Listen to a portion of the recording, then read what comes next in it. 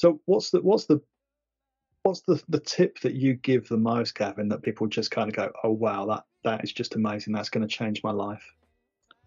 Um, I'm not sure as a little tip, but just thinking on what we were just on the thread of what Gary was saying, is that between chat and Teams, this might answer both questions. Is like I always say, like you need a digital equivalent of an open plan office, because if you work in hybrid, you know the, there is lots of benefits to the open plan offices, and you know lots of people hate them because you get interrupted a lot. But like a digital version of Open Plan Office has got the benefit you can not get interrupted when you don't want to get interrupted, and then you can come in and see everything else that's going on. Mm. You know, but the people didn't even know you needed to know, and uh, you know that can just speed up time decision making uh, so much that that one thing is just getting your team structure right can unlock so so many benefits.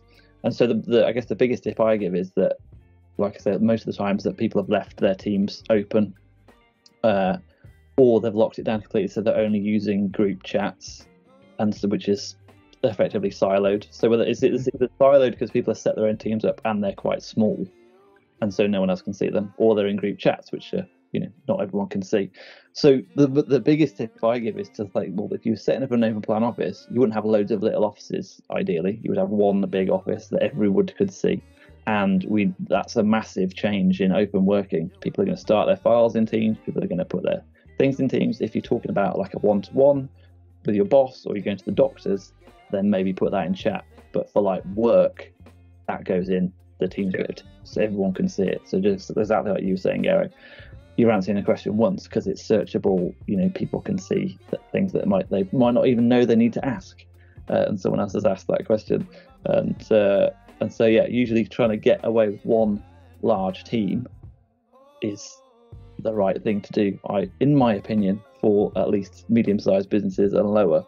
I guess once you get twenty thousand people, obviously you're never going to have like one big team, but you might have bigger than you think, like one per country, say, yeah. something like that. Um, I like that, that phrase, digital open plan office. That's uh, that's quite an interesting interesting concept. That if you said that to people, they'd kind of look at you and go, "That's making me think about what that actually means and what yeah, what the connotations are of a, of a digital open plan office. Because people talk about the water cooler all the time, but actually, I like that that concept more because you are still talking about having different areas of an office space and different areas where people are sitting in terms of channels and things. You could do a lot with that, that phrase. I'm going to steal that. That's, that's it's, nice. It's a it's a great analogy